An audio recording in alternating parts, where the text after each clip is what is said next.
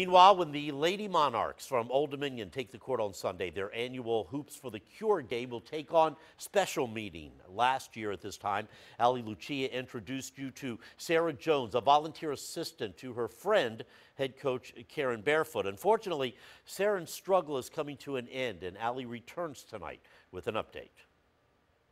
Good shot. Yeah!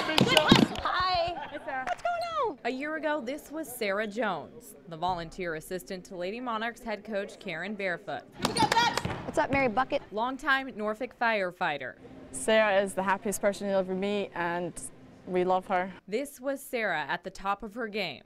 This is Sara now. Ready? High five. Her Lady Monarchs teammates will tell you Sara is a fighter. She beat breast cancer twice after she was first diagnosed in 2001. I mean, you're never truly settled. You just learn how to live. Um, what would you say? Learn how to live uh, differently. But this time, the third time, has turned out to be tougher than any fire or game. Sara's cancer spread, first to her bones and now to her brain. That was the biggest game changer as far as um, man it's a scary thing because usually you don't have long Sara's been making the most of her terminal diagnosis and calls this team her best medicine. you know it makes me feel young again um, but not so much as in oh i feel like i'm so old but it just it makes me feel um, that this isn't it, you know, because you have to reinvent yourself all the time. She loves them. She gives her heart and soul to them, and she does to everybody. Um, and she just shows them that, you know, with a positive attitude, um, you can do anything.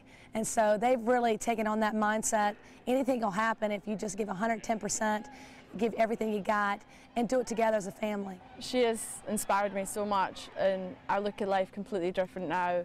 Like if I'm having a bad day, I'm just like, well, it's not as bad as Sara's having.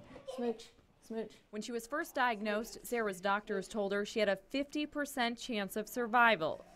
12 years later, her journey has taken her through countless rounds of chemotherapy, a double mastectomy, but it wasn't until recently that the reality of just how weak her body is set in. You know, my doctor um, was relatively hopeful, but I mean, your body's going to do what it wants to do. And no doubt, Sara Jones is a fighter. Perhaps Sara's niece Landon said exactly what her Lady Monarch teammates have been thinking for so long. She, she said something real, real sweet to me uh, last night. She said, you know, rah rah, that's what she calls me. I, I'm still going to miss you when you go see Jesus.